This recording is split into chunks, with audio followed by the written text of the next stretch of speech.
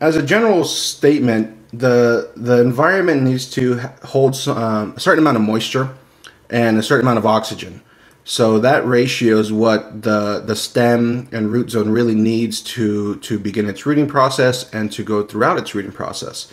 So as long as there's a good ratio of moisture to oxygen, that's why you know you could do it in coco soil and all these different medias, and the plant will strike roots and will grow and will do its thing. So that's kind of the the rule of thumb and what is needed on a basic level.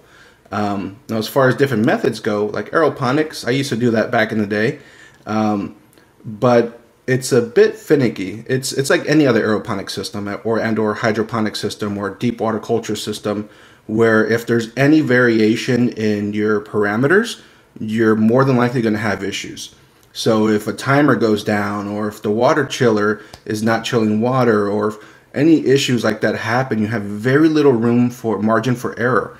So you really need to have um, you know close eye on your system to ensure there's no hiccups throughout your your rooting process. So it works.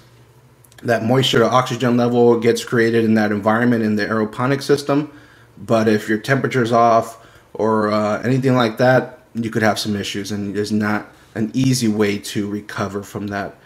Um, the different types of media Rockwool's a traditional one. It's been used for who knows how long, and it, and it works. It works just fine.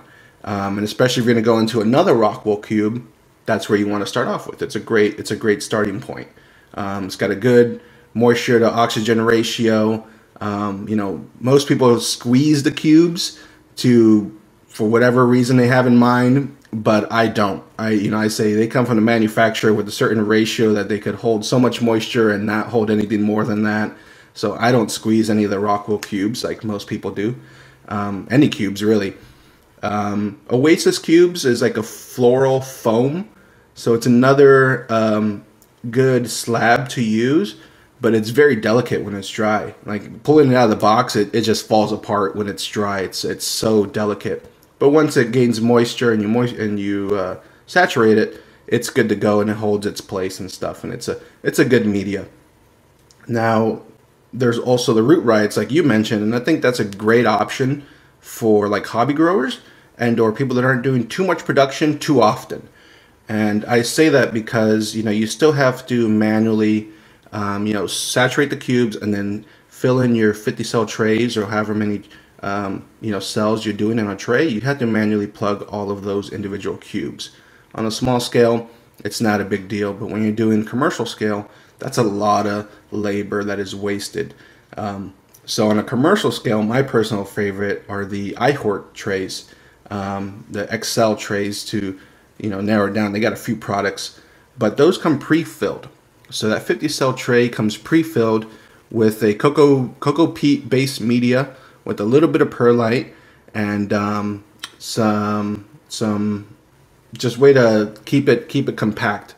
So when it you could break it down like soil, but it holds its its shape when it's in the cube and it's in the tray and stuff. So that's my personal favorite because it comes pre-filled and you save a ton of labor when it comes to the commercial scale.